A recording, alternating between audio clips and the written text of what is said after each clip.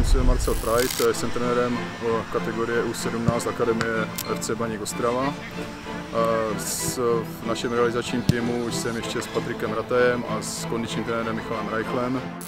Připravujeme se hlavně tady v domácích podmínkách, to znamená na výstě, kde máme k dispozici dvě umělé trávy, přírodní trávu, velmi kvalitní,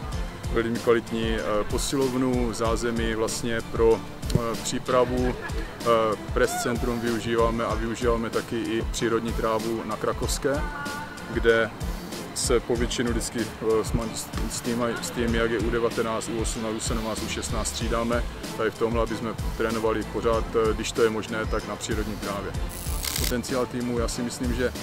jsme v Baníku Ostrava a kluci jsou tady, já si myslím, velmi dobře, kvalitně naskoutováni,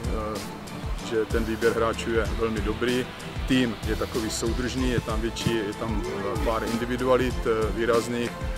kteří, kteří by ten tým měli táhnout, ale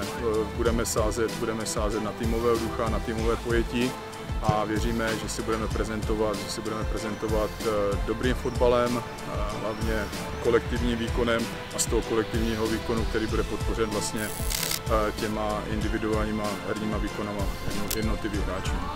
Cíl do sezóny prezentovat velmi dobře v lize značku Baník Ostrava, aby jsme předváděli dobrý fotbal, podpořený hlavně kvalitními výkonama a výsledkama a věřím tomu, že hlavně